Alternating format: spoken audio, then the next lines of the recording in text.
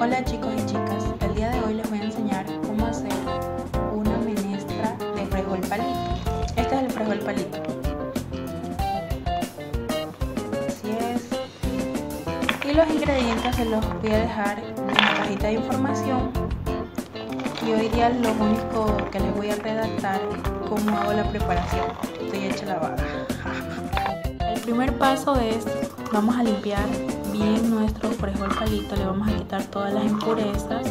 Una vez que ya lo tengamos limpio, lo procedemos a lavar.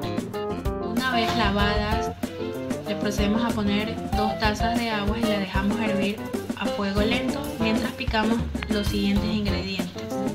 Una vez que ya estén pensando a hervir, le vamos a proceder a poner un puñado de hierbita. Yo le pongo así porque ese es el que le da sabor corté cebolla y tomate y un poquito de ajo. Pegué la cebolla, el tomate y el ajo y le voy a poner del campo, un cubito del campo. Es un cubito tan chiquitito, pero es bueno, se los recomiendo. Vienen así en este empaque y es de este, de este porte chiquito. Es bueno.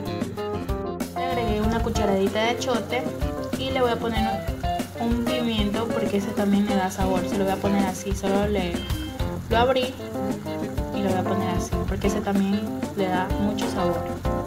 Así me queda la menestra. Ya está blandita. Y así te queda.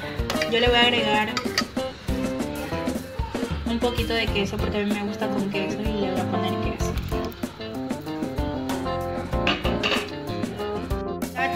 Así es como nos queda nuestra rica y deliciosa menestra de frijol palito. Se los recomiendo mucho, háganlo en casa. Yo lo acompañé con un poquito de arroz y pescado frito, así como me gusta el pescado bien doradito.